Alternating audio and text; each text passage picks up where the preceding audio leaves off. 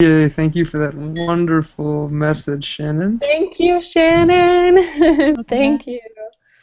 That ties in so well with this whole segment. It's like all one streamline kind of giant resource and tip for everyone to just Yes. knock this out of the park.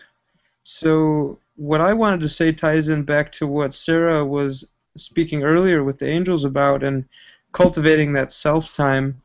Um, it's it, it's it's so important, you know, even if it's five minutes a day, because it allows us to just reflect and see what's going on, and check internally, and you know, are we happy? Is this what we're enjoying?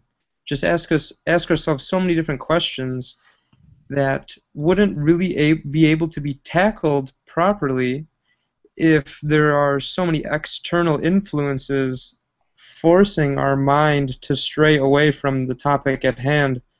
So, you know, if, if people are in your house, go outside. If there people are, are outside, go further away. You know, there's there's no excuse to not put some time for yourself because where are you existing every day, all day? Inside the body. So, you know, get some external health, get some internal health, and you're good to go.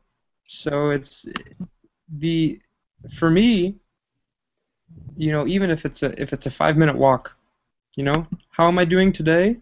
What are my goals today? What do I want to set up for later? You know, it's, it's very simple things. It doesn't have to be like a big kind of ordeal.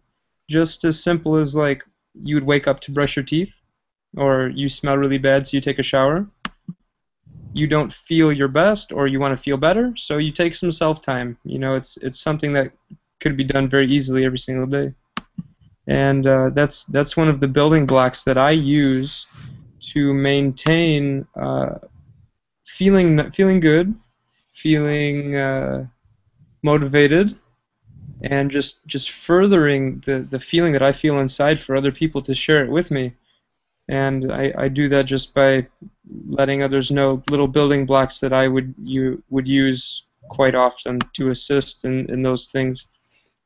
And that's it.